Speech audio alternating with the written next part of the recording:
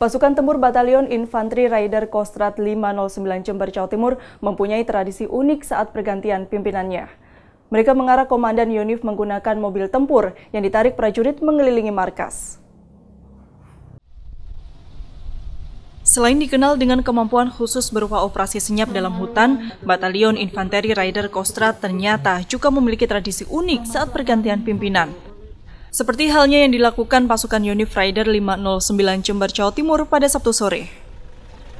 Mereka mengarah komandan batalion bersama istri dengan menggunakan mobil tempur yang ditarik prajurit mengelilingi kompleks markas komando. Suasana kebersamaan begitu terasa terlebih ketika seluruh pasukan turut berjalan mengiringi di belakang mobil sambil meneriakan yel-yel dan nyanyian khas prajurit Kostrat. Puluhan pasukan kemudian beramai-ramai memanggul komandan batalion hingga pintu gerbang. Menunjukkan betapa kedekatan kita selalu berada di tengah-tengah prajurit.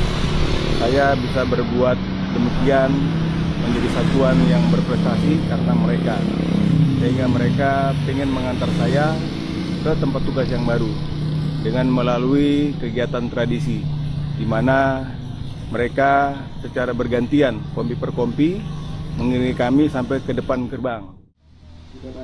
Pasukan Raider merupakan salah satu kesatuan elit di jajaran Angkatan Darat dengan deretan prestasi penanggulangan teroris di sejumlah daerah. Bahkan di pertengahan tahun ini, sebagian pasukan Unif Raider 509 akan ditugaskan untuk menumpas gerakan separatis di wilayah Papua.